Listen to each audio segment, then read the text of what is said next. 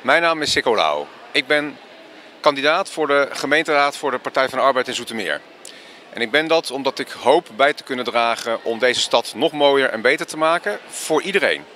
Want niet iedereen heeft dezelfde kansen en ik vind dat we daar als gemeentelijke politiek echt aandacht voor moeten hebben.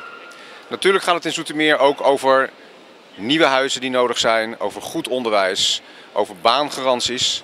Het zijn allemaal zaken waar de Partij van de Arbeid zich al heel lang voor inzet. En ik hoop dat we dat kunnen blijven doen. En ik hoop op je steun. Dank u wel.